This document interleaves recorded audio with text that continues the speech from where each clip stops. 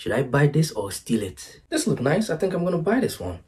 I don't think they can see me if I steal it. And stealing is a better option, my brother. Yep. You're the guy that stole my phone yesterday. Yes, and so what? Go and buy another one. Can someone explain to me what the hell is going on here? He stole my phone yesterday and then he ran off. Please arrest him right now. Hey, why did you steal his phone? Officer, the phone is not here and you cannot arrest me. Robbery is a crime. Give it back before I arrest you. Oh, I bet. I arrest you. Sorry, you cannot arrest me. I identify as trans baby. I am a baby. What the? Arrest him.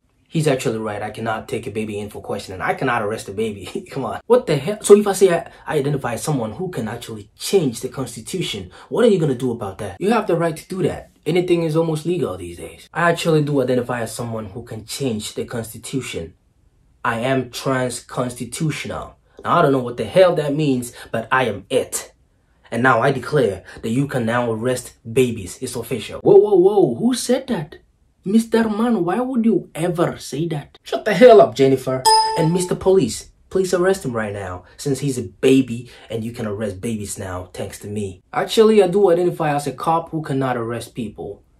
I'm identify as a trans non-arrest cop. What the I guess I officially identify as the new CEO of Walmart.